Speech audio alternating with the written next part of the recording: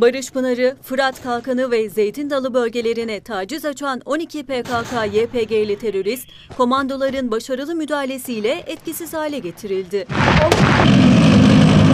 Haberi Milli Savunma Bakanlığı resmi sosyal medya hesabından paylaştı. Yazılı açıklamada 3 bölgede taciz ateşi açan teröristlerin etkisiz hale getirildiği belirtildi. Suriye'nin kuzeyinde saldırı girişiminde bulunan teröristleri hendeklere gömmeye devam ediyoruz. Barış Pınarı, Fırat Kalkanı ve Zeytin Dalı bölgelerine taciz ateşi açan 12 PKK-YPG'li terörist daha komandolarımızın başarılı müdahalesiyle etkisiz hale getirildi.